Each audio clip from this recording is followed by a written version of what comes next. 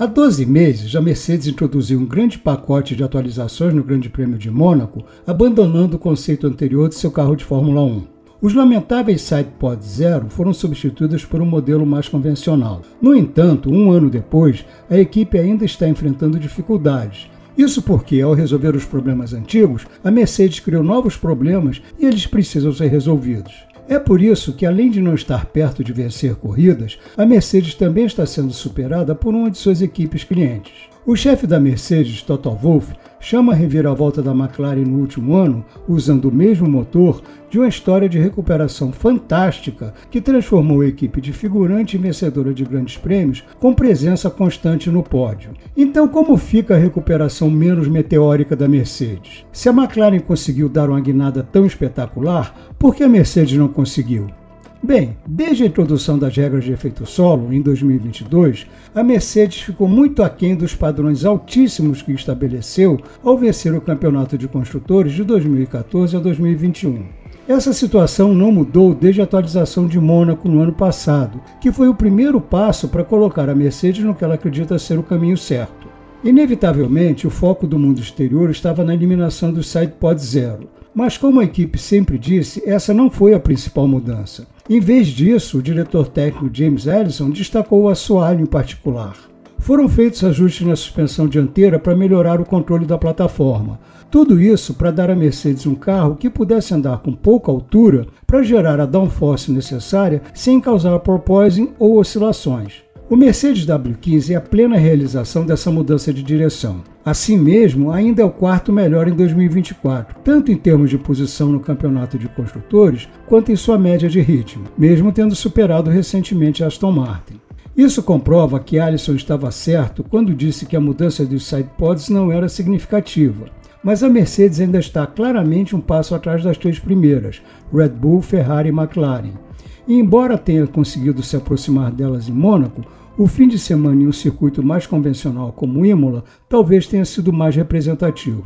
Como disse Lewis Hamilton após terminar em sexto em Imola, o déficit de ritmo de corrida era de 3 ou 4 décimos por volta, e a julgar pelo desenvolvimento no túnel de vento, ele não viu um grande ganho vindo tão cedo. No entanto, usando Imola como referência, fica claro que a Mercedes fez progressos concretos ao longo dos anos, mas Wolff descreveu a atuação da Mercedes em Imola como horrível, com os mesmos problemas de porpoising que a equipe enfrentou nos primeiros dias dos carros com efeito solo expostos de forma gritante. A Mercedes ainda está sofrendo com os efeitos colaterais de ter seguido o caminho errado inicialmente, mas há sinais de que está começando a se recuperar. Desde a mudança no carro há 12 meses, a Mercedes fez progressos em termos absolutos, já que seu carro atual é mais rápido que seu antecessor. Nos seis circuitos que a Fórmula 1 já visitou em 2024 e que foram usados no ano passado, a Mercedes foi mais rápida em cinco. A única exceção foi Miami. Mas em termos relativos, a equipe regrediu ligeiramente, tendo terminado a temporada passada em média pouco mais de 0,5% abaixo do ritmo, neste ano ficou pouco menos de 0,7% fora. Enquanto o W14 do ano passado estava limitado pela arquitetura do carro, a expectativa era de que as mudanças no monocoque, na caixa de câmbio e, crucialmente, no design da suspensão gerassem maior potencial de desenvolvimento. E apesar dos resultados medianos, o progresso constante do carro comprova isso, mesmo que ele não seja rápido o suficiente para subir na hierarquia. Como Ellison disse recentemente, não restam muitos pontos críticos que precisem ser mudados. Alisson argumenta que agora é uma questão de trabalho árduo e desenvolvimento para a Mercedes reconquistar respeito. Os sidepods não foram a maior mudança, mas sua eliminação aumentou a oportunidade de explorar o fluxo de ar ao redor dos sidepods, como outras equipes já faziam.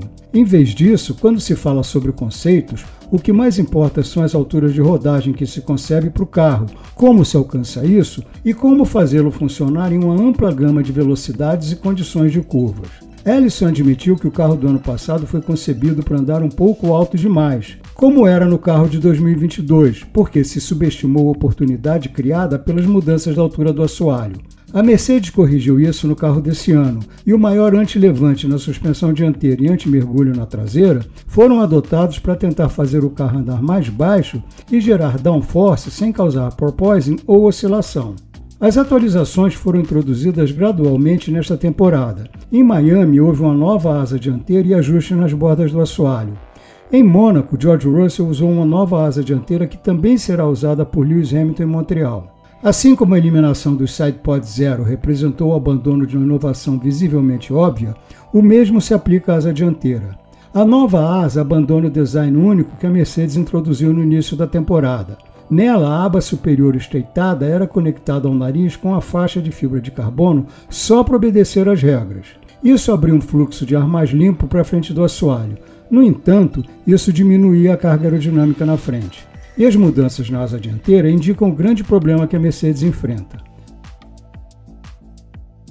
O grande problema do carro do ano passado era a instabilidade traseira nas curvas mais rápidas. Os pilotos reclamaram constantemente e resolver isso virou uma prioridade. No entanto, como comentou Russell, aconteceu uma supercompensação no carro deste ano. Agora que já há mais entendimento sobre o carro, ele melhorou nas altas velocidades, mas a entrada nas curvas lentas virou um problema. Como Hamilton coloca, quanto mais devagar você vai, menos o carro quer virar. Isso é particularmente preocupante para Hamilton, já que uma de suas forças é a capacidade de frear incrivelmente tarde para as curvas lentas e ainda fazer o carro girar rapidamente na entrada da curva. O resultado é um carro forte nas curvas rápidas, mas que sai de frente nas lentas. E quando se muda o acerto para melhorar a entrada nas curvas lentas, parte da força nas curvas rápidas é perdida. É por isso que houve tanta discussão sobre igualar o desempenho das curvas rápidas e lentas. Para descrever esse problema, Wolff usa a metáfora do cobertor curto. Não é grande o suficiente para lhe cobrir todo. Ou os pés ou a cabeça vão ficar descobertos. Ou seja, ou vai ser bom nas curvas rápidas ou nas lentas. O programa de desenvolvimento segue focado na solução desse problema, e Ellison acredita que progressos notáveis terão sido feitos até as férias de agosto. E agora não se procura grandes transformações ou soluções mágicas que façam a Mercedes voltar repentinamente a vencer corridas e disputar campeonatos. O que interessa é progresso consistente e constante. Wolff afirma que a direção de desenvolvimento da Mercedes não está mais zigue-zagueando. Foi isso que levou a vários começos falsos seguidos por quedas. Wolff diz que agora a Mercedes identificou algo fundamental que lhe dá confiança na direção de desenvolvimento. De forma encorajadora, esse sentimento não é muito diferente do que o chefe da equipe McLaren, André Stella, expressou antes da atualização do GP da Áustria no ano passado, que elevou seu nível de desempenho. A Mercedes não espera um salto repentino como o da McLaren, mas se realmente estiver no caminho certo, o desenvolvimento sustentado e constante deve elevá-la gradativamente ao grupo da frente. Ela ainda não está lá, mas já não está tão longe.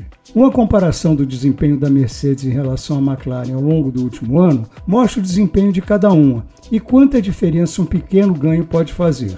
A Mercedes ainda tem muito a provar precisa mostrar que realmente pode sustentar o desenvolvimento e que alcançou o necessário entendimento fundamental dos carros de efeito solo. Mas pelo menos agora está em um lugar onde o desenvolvimento gradual é o que é necessário, em vez de grandes mudanças de direção.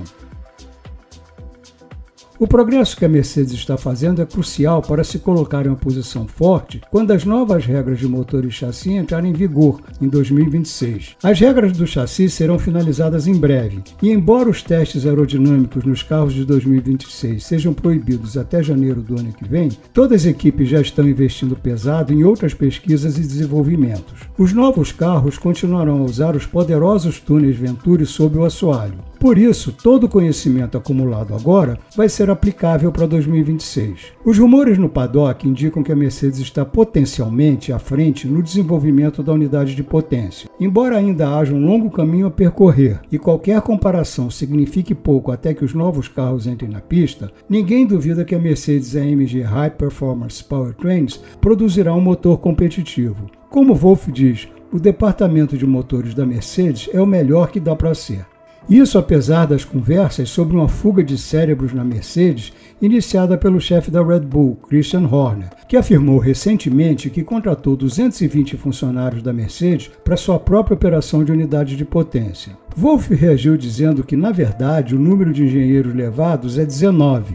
Pelo que se sabe, o número total é um pouco maior se levarmos em conta os funcionários não engenheiros, mas muito abaixo dos 220 citados. E apesar da discussão pública, a Mercedes confia na sua capacidade de produzir um motor de ponta.